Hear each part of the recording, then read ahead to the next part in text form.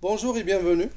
Euh, on se retrouve aujourd'hui pour euh, une nouvelle leçon d'Autoplay Media Studio. Nous allons voir aujourd'hui comment régler les paramètres d'un projet.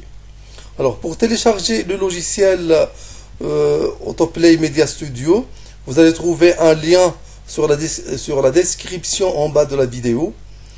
Alors tout d'abord, Autoplay Media Studio, c'est quoi? Autoplay Media Studio est un logiciel qui vous permet de créer facilement un CD Autoran pour votre projet.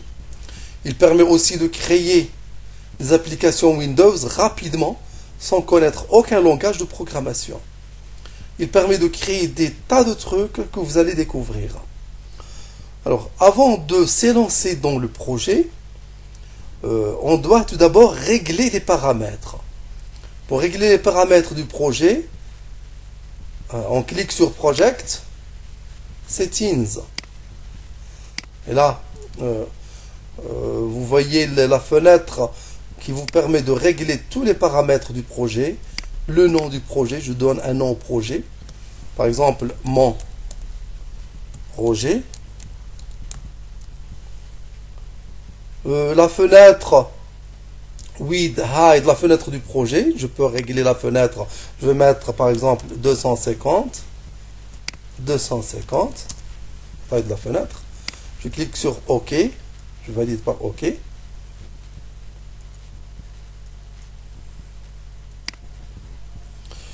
Je teste maintenant. Ou bien je clique, je clique sur Publish Preview. Ou bien je clique sur cette icône-là, Preview. Voici la fenêtre de taille 250-250. Je peux changer.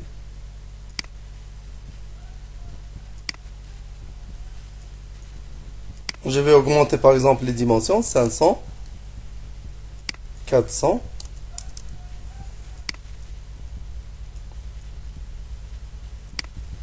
Je clique sur Preview. Voici une fenêtre de taille 500-400. Je peux aussi régler le, déplacement de la fenêtre sur l'écran. Regardez quand euh, euh, je clique sur Preview, je peux déplacer maintenant la fenêtre. Mais je peux empêcher cette opération sur les paramètres de projet, Project Settings. Je décoche Movable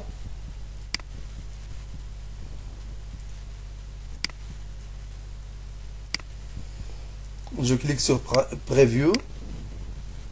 Regardez, maintenant, je ne peux pas déplacer la fenêtre.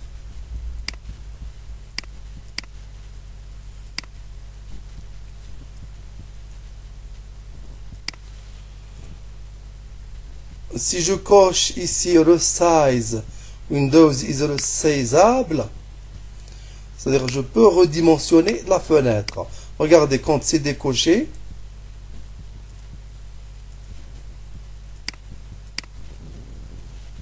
Regardez, quand c'est décoché, je ne peux pas redimensionner la fenêtre. Regardez. Mais quand je coche la case Windows resizeable, resizeable, je peux maintenant, regardez, je peux maintenant redimensionner la fenêtre.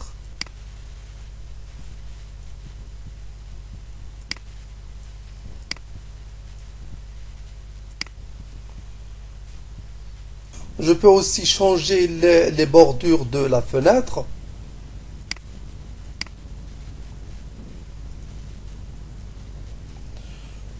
Le, style par défaut c'est standard. Je peux utiliser border par exemple.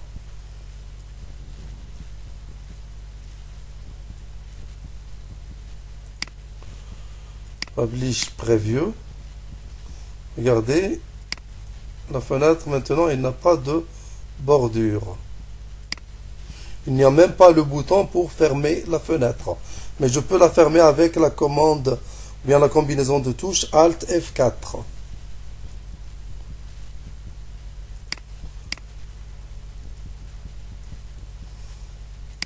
J'utilise maintenant Flat.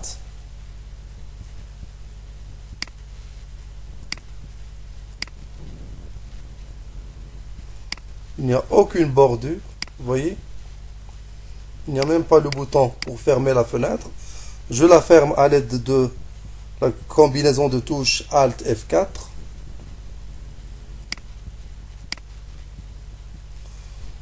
Je peux utiliser une couleur d'arrière-plan et là, la fenêtre s'ouvre en mode plein écran.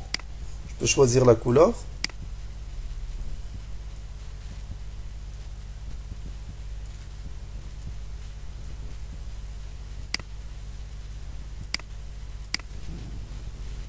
Voyez la fenêtre s'ouvre en plein écran.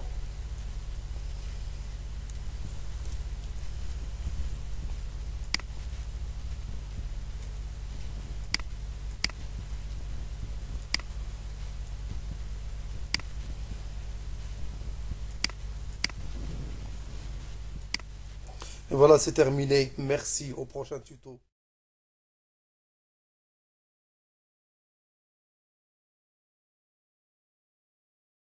Bonjour et bienvenue.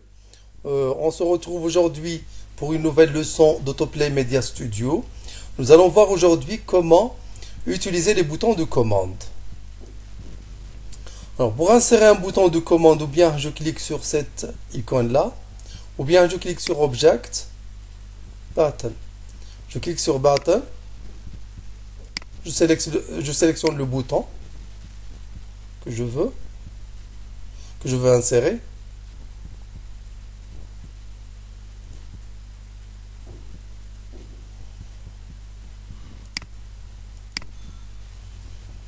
je peux redimensionner le bouton.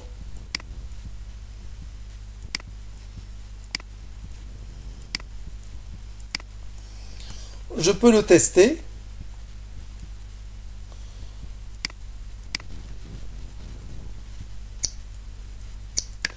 Voici le bouton, il fonctionne, mais aucune action attribuée. Je n'ai attribué, je n'ai attribué aucune action à ce bouton-là.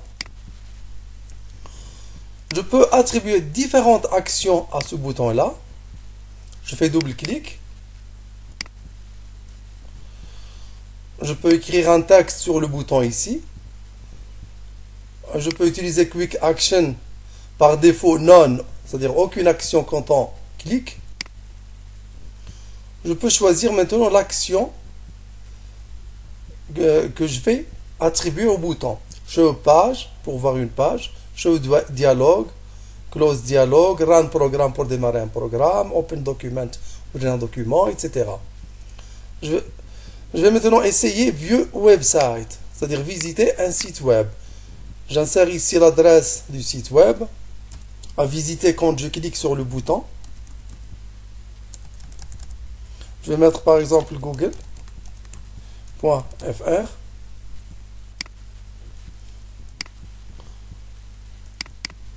je vais écrire ici sur le bouton un texte accéder à Google.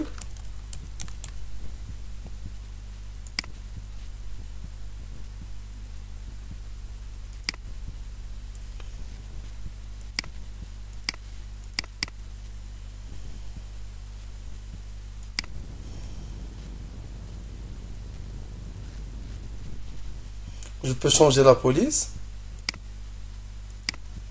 taille de la police, euh, etc.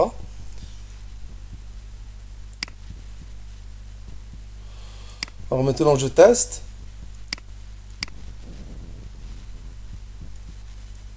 Quand je clique maintenant, je vais accéder à Google.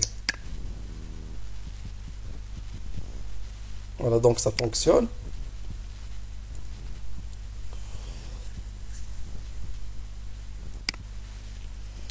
Alors maintenant, nous allons voir Comment créer des boutons de commande pour naviguer entre les pages d'un projet euh, Autoplay Media Studio? Tout d'abord, je vais créer un petit projet qui contient deux ou trois pages. Je fais clic droit ici, Duplicate. Clic droit, Duplicate.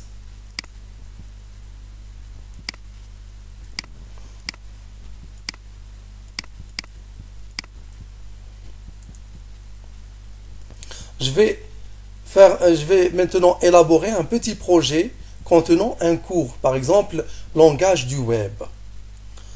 Euh, donc je vais mettre un titre tout d'abord.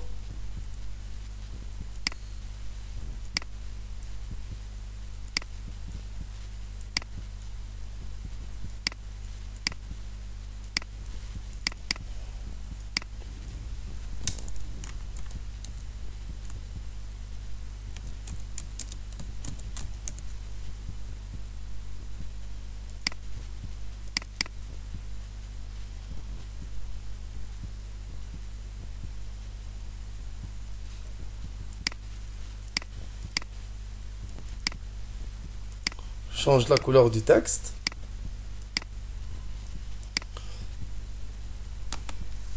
Je vais créer tout d'abord un petit cours sur la, page 2, un petit cours sur la page 3 et 4, etc.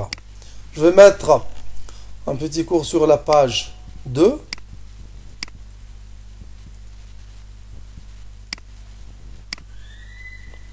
Par exemple, le langage HTML.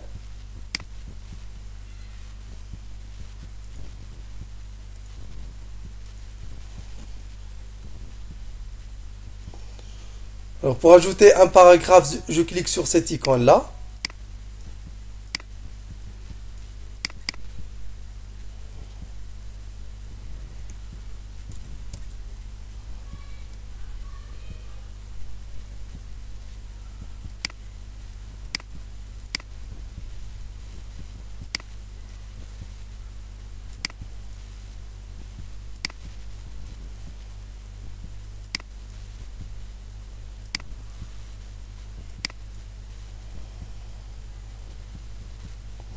Je fais la même chose pour les autres pages. Je vais mettre euh, un cours JavaScript par exemple sur page 3.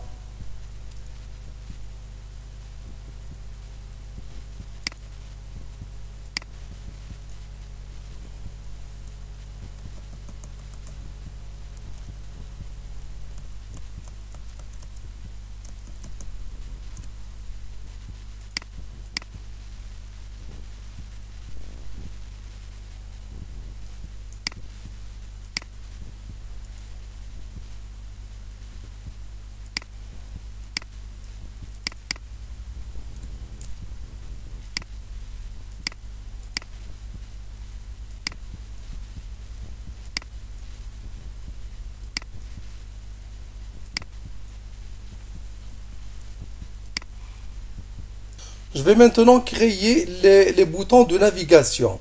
Je clique sur cette icône-là. Je choisis le type de bouton, par exemple celui-là. Et je clique sur OK. Et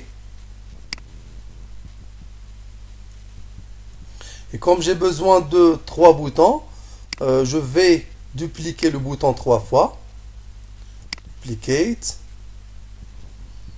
Duplicate.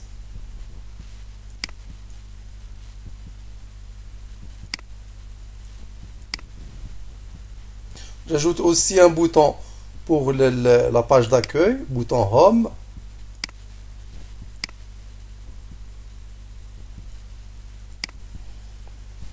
sur le, premier bouton, euh, je vais mettre comme étiquette langage HTML et quand je clique, je dois accéder à, au langage HTML. Alors je, je mets ici le texte, langage HTML. Et quand je clique, je dois aller à la page HTML. Je regarde la page HTML où elle se trouve. Je crois que c'est la page 2. Oui, c'est la page 2.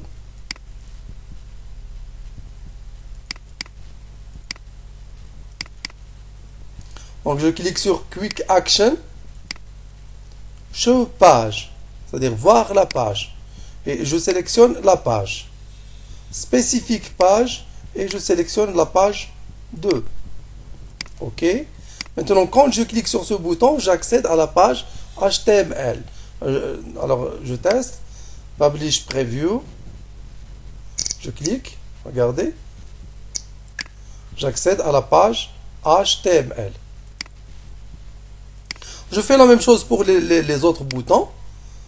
Euh, je vais mettre ici langage JavaScript qui se trouve, je crois, sur la page 3. langage JavaScript sur la page 3. Je vais mettre ici langage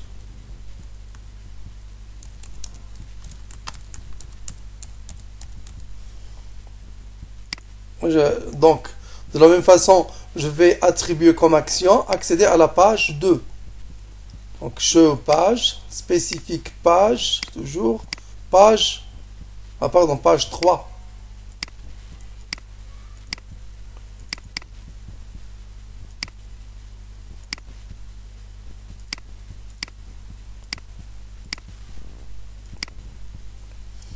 Ensuite, langage PHP.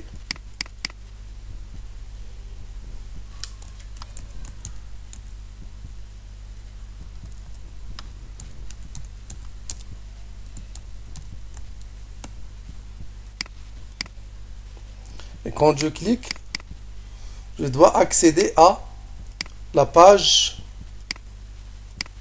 la page 4. C'est elle qui contient le langage PHP. Maintenant, un bouton pour la page d'accueil. Je dois le, placer au premier lieu, dans, dans la première position.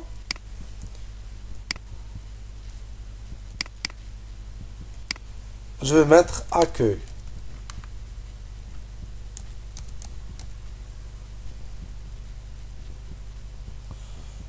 Je vais mettre comme quick action. Show page spécifique page page 1 et je copie maintenant les, les, quatre boutons.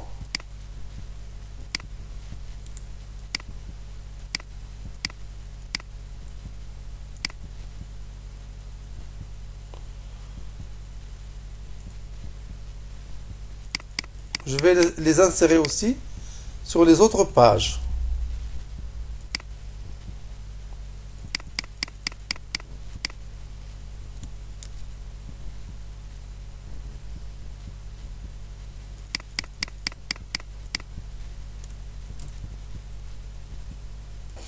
Alors je teste maintenant.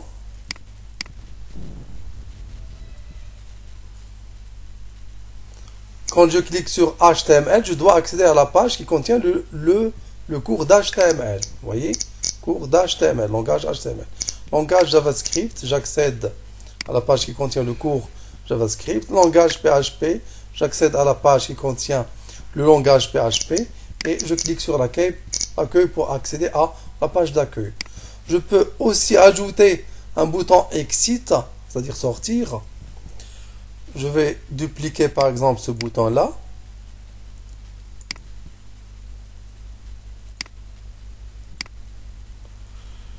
Et je vais changer les paramètres. Je vais mettre ici à la place du langage PHP, je vais mettre sortir.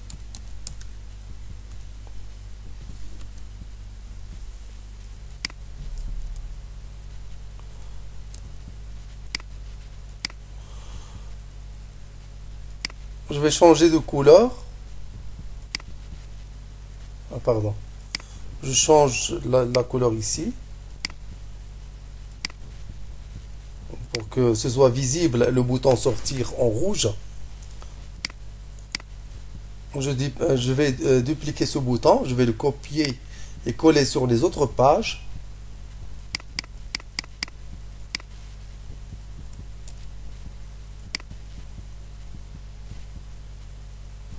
Je dois maintenant mettre l'action sur le bouton. Euh, en principe, je dois mettre l'action sur le bouton avant de le copier et le coller sur les autres pages. Parce que quand je mets l'action sortir, même l'action sera copiée. Quick Action. À la place de show page, je vais mettre Exit Close. Et je fais la même chose pour les autres. Normalement, je dois copier après avoir mis l'action sortir.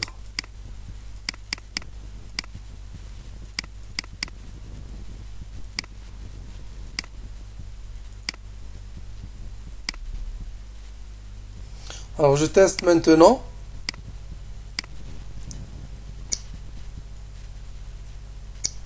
Je suis sur l'accueil, je clique sur langage HTML, je navigue entre les pages mais quand je veux sortir, je clique, sur sortir et je sors de l'application.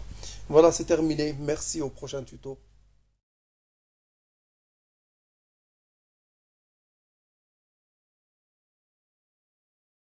Bonjour et bienvenue sur cette euh, nouvelle leçon euh, d'Autoplay Media Studio.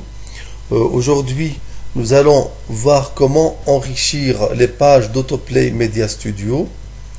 En particulier, nous allons voir comment insérer des images, comment insérer des ondes de texte, comment insérer des animations flash, etc. Alors on commence par les ondes de texte. Pour insérer ondes de texte, je peux cliquer sur cette icône-là. Vous voyez dans les bulles New Paragraph Object. Ou bien, je clique sur Object et je choisis le type de texte. Par exemple, paragraphe. Ou bien, Rich Text. Je, commence par paragraphe. Pour éditer, donc, le, paragraphe est automatiquement inséré avec un contenu par défaut. Vous pouvez le modifier en double-cliquant ici. Et vous modifiez votre texte ici.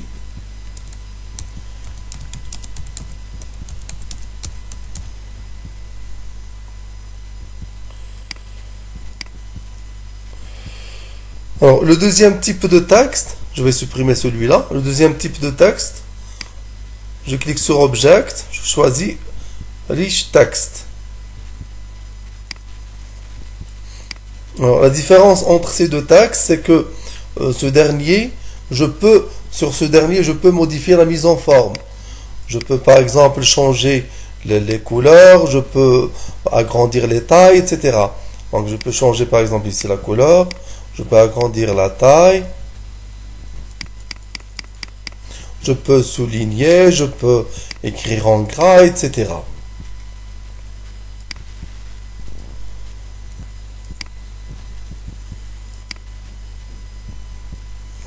J'exécute.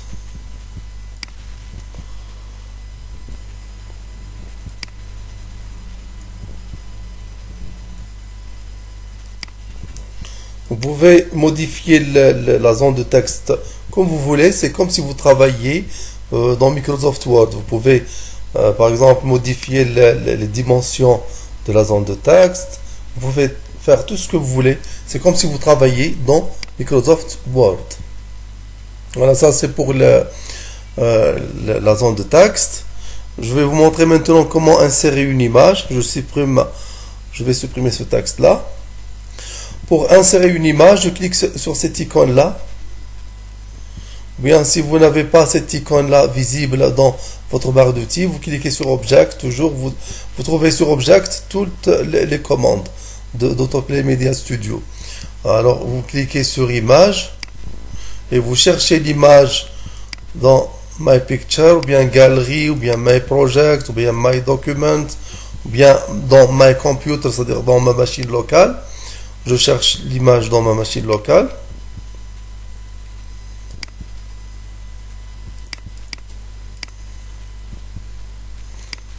Et je valide enfin par OK. Voici l'image insérée. Je peux modifier les dimensions de l'image comme je veux. C'est comme si vous travaillez dans Microsoft Word. J'exécute.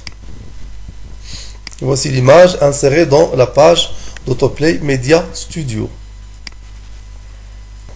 Je peux aussi régler la, transparence de la page. Je double-clique, pardon, la, transparence de l'image. Je double-clique sur l'image et je, je modifie ici l'opacité. Je peux mettre par exemple 25% c'est-à-dire elle est transparente à 75%, opaque à 25%. Vous voyez, l'image, elle devient transparente.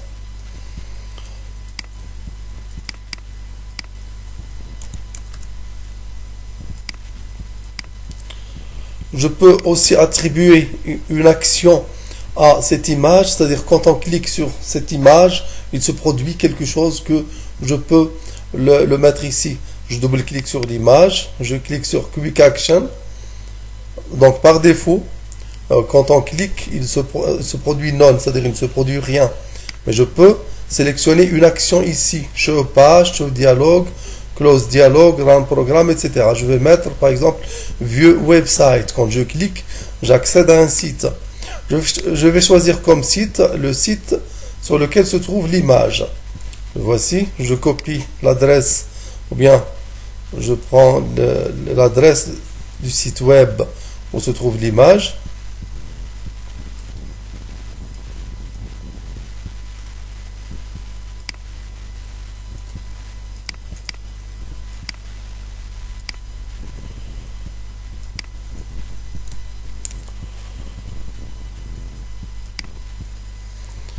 J'exécute. Donc j'ai attribué une action. Quand je clique, je vais accéder au site sur lequel se trouve l'image. J'accède au site sur lequel se trouve l'image.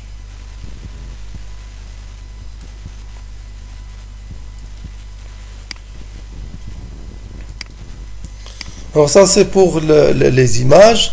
Nous allons voir maintenant comment insérer une animation flash.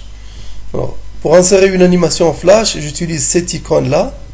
Ou bien, si vous n'avez pas cette icône visible sur votre barre d'outils, vous cliquez sur Object et vous choisissez Flash. Et je, je cherche l'animation Flash, ou bien dans Galerie, ou bien My Project, ou bien dans My Computer. Je choisis My Computer.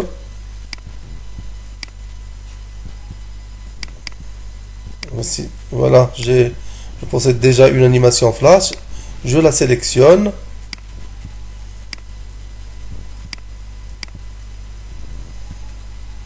Je peux modifier la dimension de l'animation flash.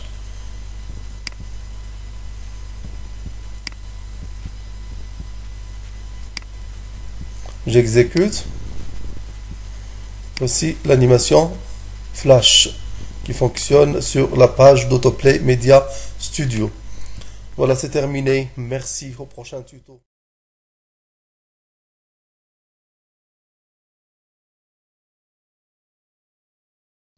Bonjour et bienvenue sur cette nouvelle leçon euh, d'Autoplay Media Studio. Euh, aujourd'hui, nous allons voir comment insérer des documents PDF, comment insérer des pages web, etc. Alors, je démarre le logiciel Autoplay Media Studio. Pour insérer un document PDF, je clique sur l'icône PDF.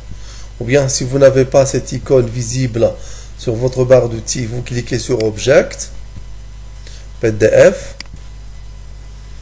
et vous cliquez sur Browse pour rechercher la page PDF.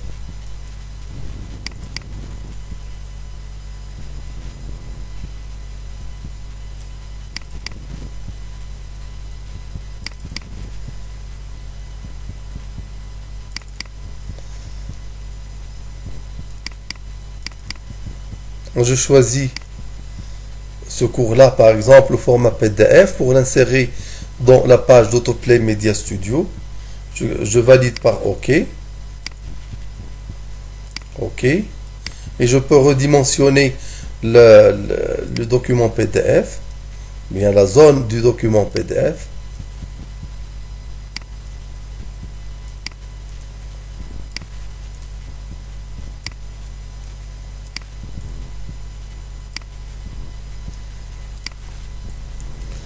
J'exécute.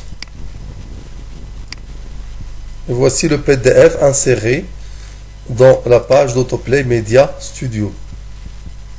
Je peux aussi euh, redimensionner le, zoom. je, peux modifier le zoom ici.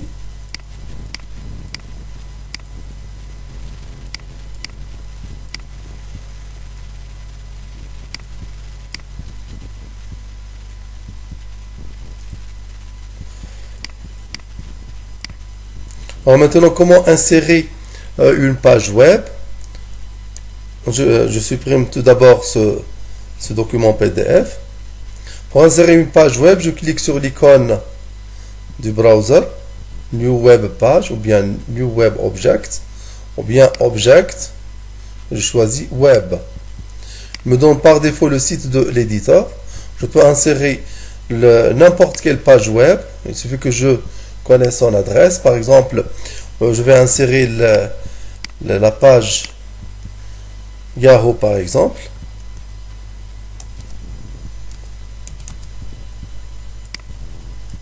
Je redimensionne la zone de la page web.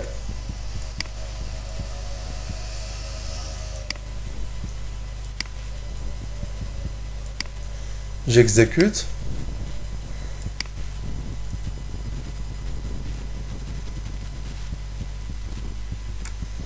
Voici la page Yahoo sur la page d'Autoplay Media Studio.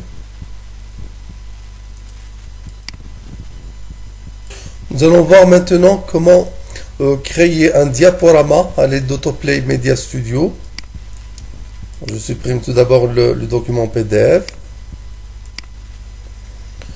Pour créer un diaporama, nous allons utiliser cette icône-là New Slideshow Object ou bien Object Slideshow.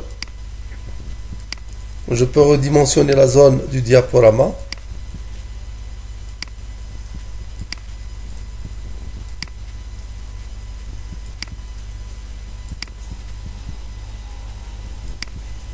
Je double-clique sur la zone du diaporama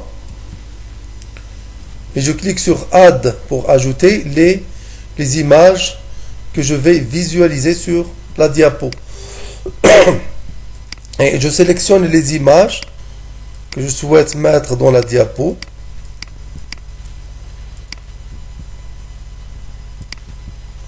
Je clique sur OK. J'exécute maintenant.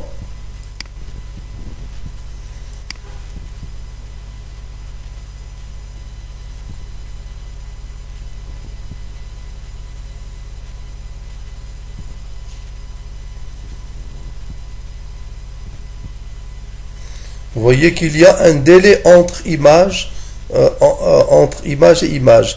Donc nous allons modifier ce délai là. Je double-clique sur la diapo. Vous voyez ici intervalle en millisecondes. C'est le délai qui existe, euh, c'est le, le, délai entre l'apparition d'une image après une autre. Je vais le changer. Je vais mettre par exemple 1000 millisecondes, c'est-à-dire une seconde pour changer l'image.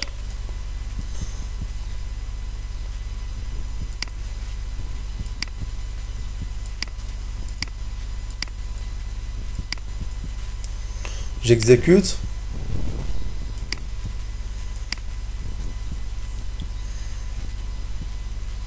Vous voyez que chaque seconde, l'image change.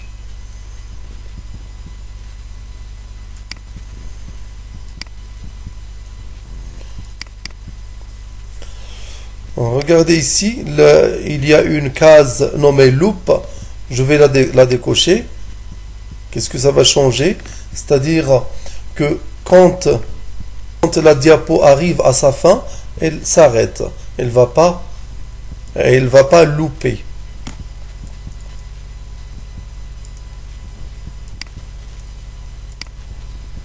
Alors j'exécute.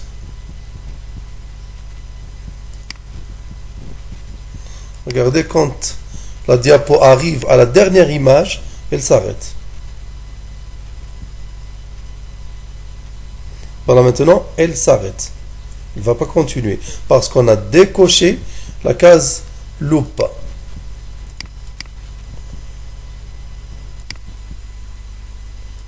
Regardez quand je coche.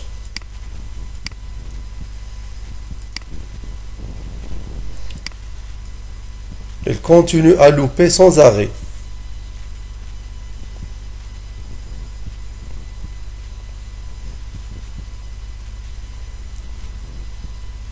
Voilà, la, diapo maintenant, elle loupe d'une façon, euh, d'une façon infinie. Elle ne s'arrête pas. Voilà, c'est terminé. Merci. Au prochain.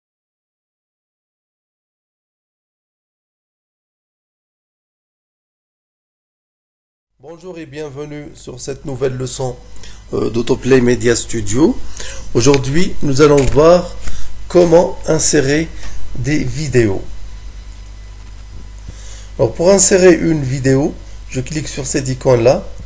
Ou bien, si vous n'avez pas cette icône visible sur votre, euh, barre d'outils, vous cliquez sur Object. Vous choisissez Vidéo vous recherchez la vidéo sur votre machine ou bien sur ma, sur ou bien galerie, etc. Donc je la cherche sur ma machine.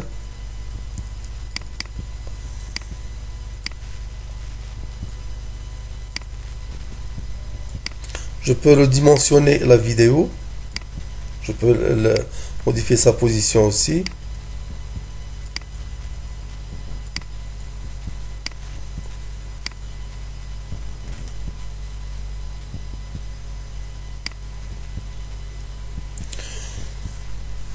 Clique sur le bouton de lecture.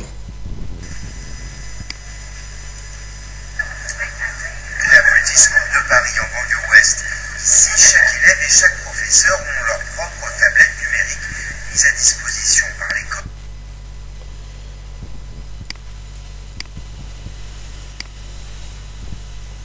Vous avez constaté que la lecture est automatique, c'est-à-dire sans cliquer sur aucun bouton, la vidéo se lance automatiquement. On peut le modifier. Je double-clique sur la vidéo. Regardez ce, cette case à cocher Auto Start. Auto Start, je la décoche. C'est-à-dire, il n'y a pas de démarrage automatique. Quand je coche, la vidéo démarre automatiquement. Je décoche maintenant, regardez. Maintenant, la vidéo ne démarre pas automatiquement. Je dois cliquer sur le bouton de lecture.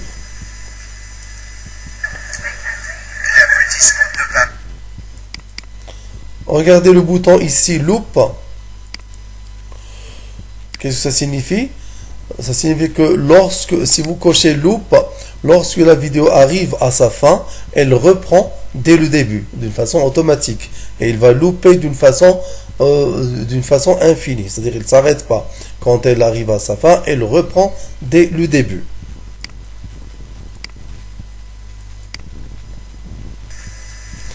Regardez quand la vidéo arrive à sa fin, je vais le déplacer pour gagner un peu de temps.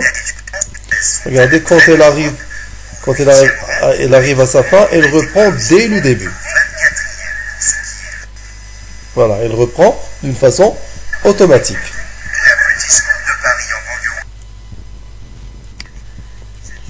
Vous pouvez aussi modifier le, style de ces boutons-là, les boutons de lecture. Double-clic ici. Et vous choisissez ici le, style. Par exemple, Windows OS. Je clique sur Preview. Regardez, le style a changé.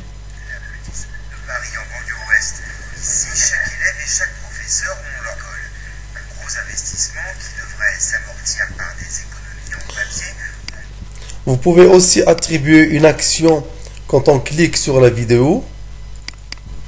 Vous choisissez Quick Action et vous choisissez la commande à exécuter, Show Page, Show Dialogue, Close Dialogue, Run Programme, etc. Je vais par exemple choisir View Website. Je vais mettre ici le, site web euh, le site web a affiché quand on clique. Je laisse par exemple Indigo Rose.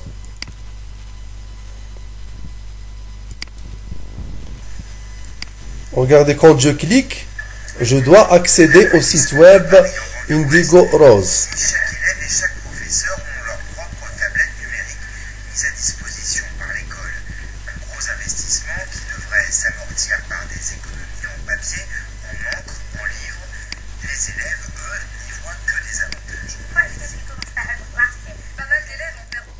Voilà, c'est terminé. Merci au prochain tuto.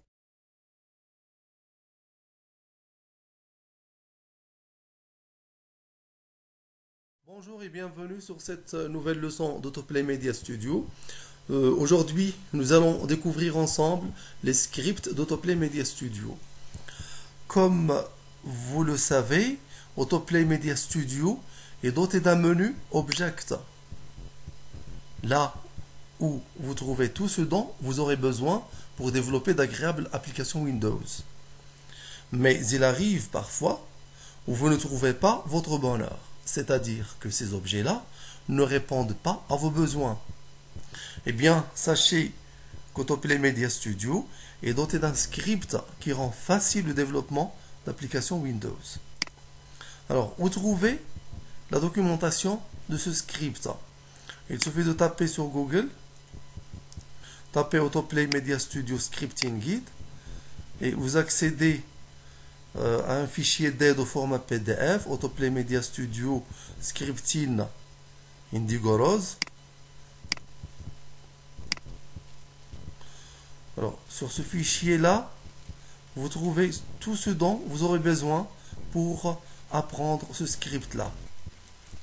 Comment déclarer des variables, comment euh, créer des fonctions, etc. Alors nous allons commencer par des exemples simples.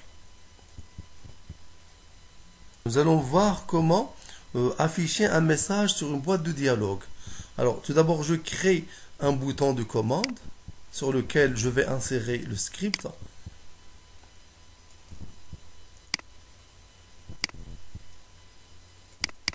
Je peux ajouter ici comme label test de script.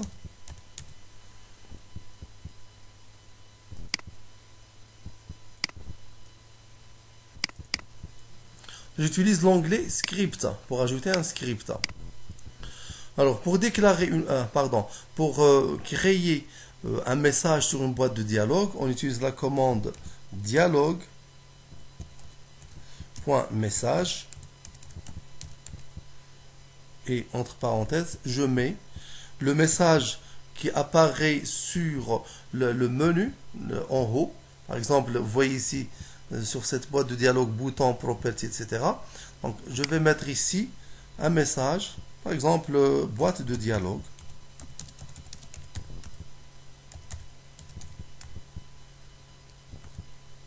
Ensuite, virgule, le message qui apparaît sur la boîte de dialogue. Je vais mettre bienvenue. Je ferme parenthèse et je mets un point virgule à la fin. Je clique sur OK et je teste. Je clique sur le bouton et vous voyez, il me donne une boîte de, dialogue sur laquelle il y a le message de bienvenue. Nous allons voir maintenant comment créer une variable.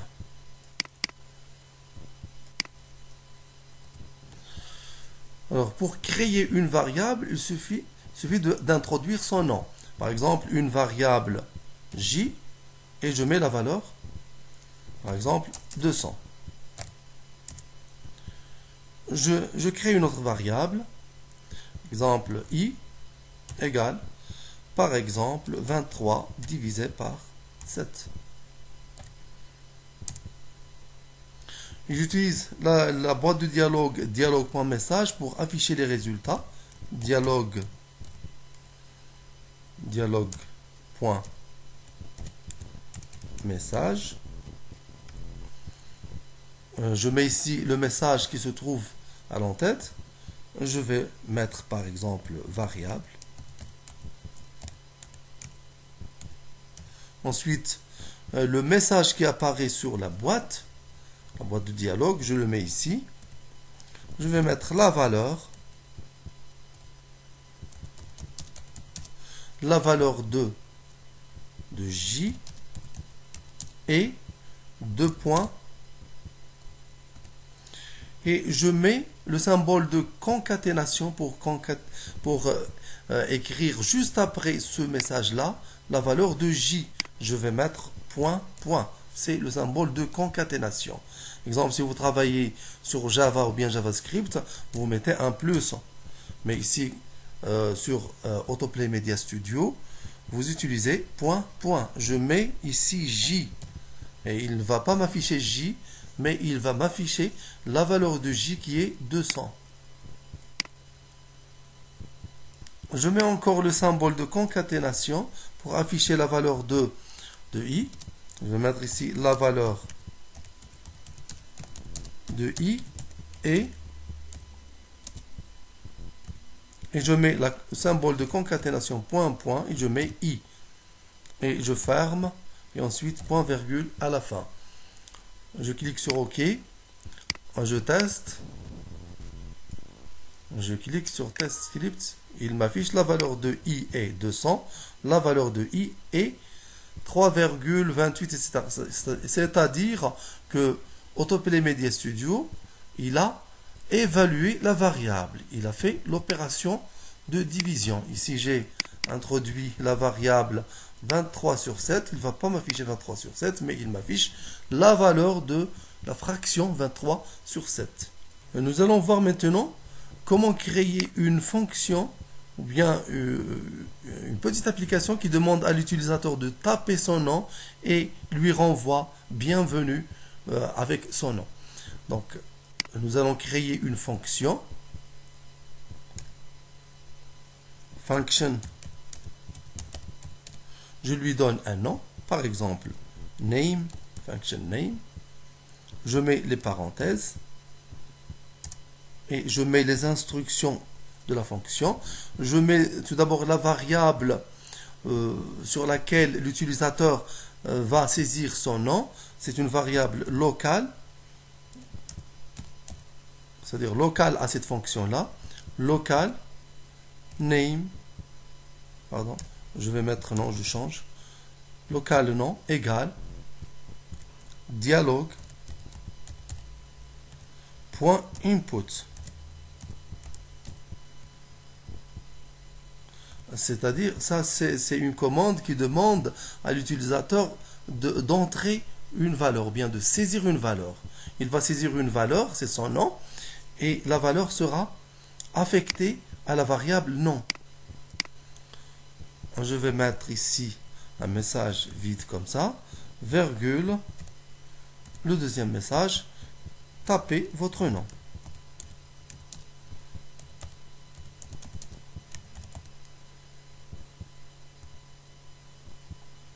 tapez votre nom, je ferme, je mets point virgule et je mets ici retourne. C'est comme si vous, vous programmez avec langage C. Retourne non.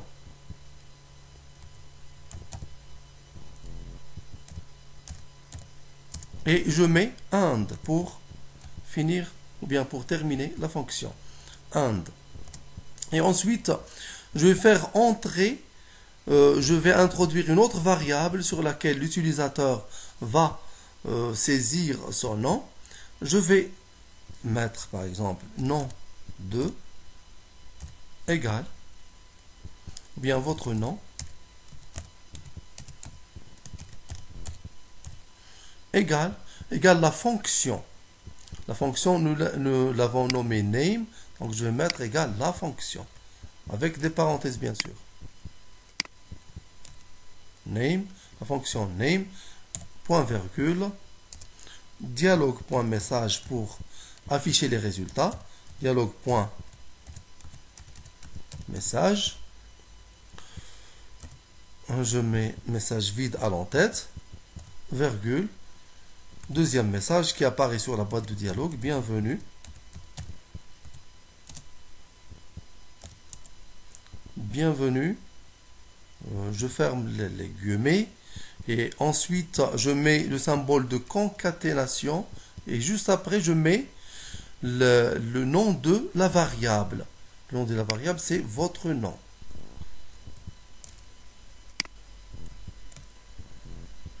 Je ferme, point virgule et c'est terminé. Alors je clique sur OK, j'exécute Regardez, il me donne une boîte de dialogue sur laquelle je vais taper mon nom. Tapez votre nom. Et ce qu'il va m'afficher, il va m'afficher bienvenue et il affiche mon nom. Par exemple, je vais euh, mettre ici machine. Tapez votre nom. OK, il me dit bienvenue machine. Et voilà, c'est terminé. Merci.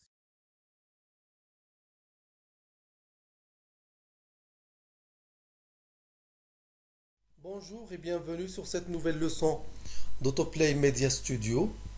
Euh, aujourd'hui, nous allons voir comment distribuer notre projet sous forme de fichier .exe, euh, sous forme d'image .iso, ou bien sur CD-ROM, DVD, Blu-ray, etc.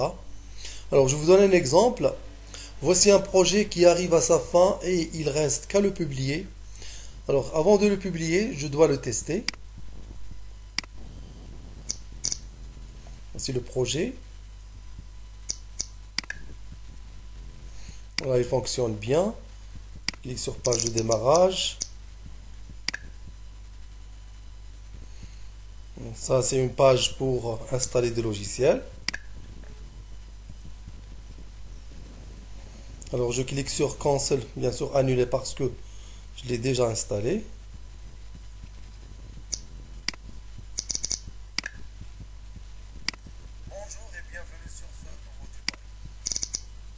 Donc le projet il fonctionne bien. Je vais le publier. Alors, pour le publier, je clique sur Publish, Build, continue. Et à ce moment-là, Autoplay Media Studio me donne le choix de le graver sur CD, DVD, Blu-ray, de le publier sur disque dur, de le publier sous forme de fichier exécutable ou de fichier .iso.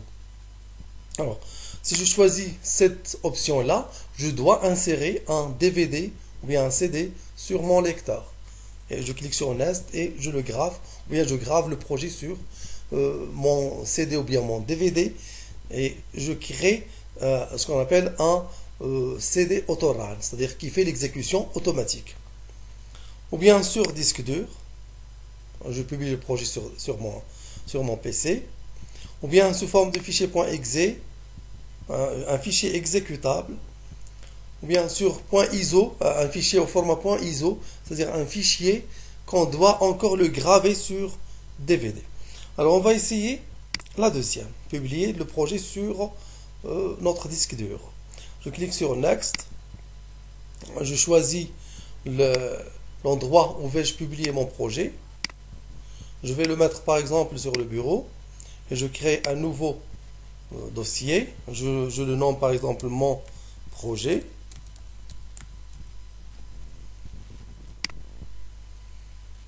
Je clique sur Build. Je clique sur Continue.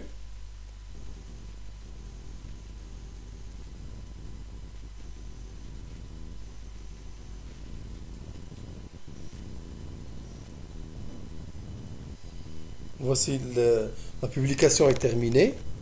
Je clique, sur Close, Open Output Folder. Je vais en même temps ouvrir le, le dossier où j'ai publié le projet. Voici le, le, dossier qui contient le projet. Voici le fichier Autorun. Je clique sur Autorun pour exécuter le projet. Voici le projet qui s'exécute et il fonctionne bien. Regardez.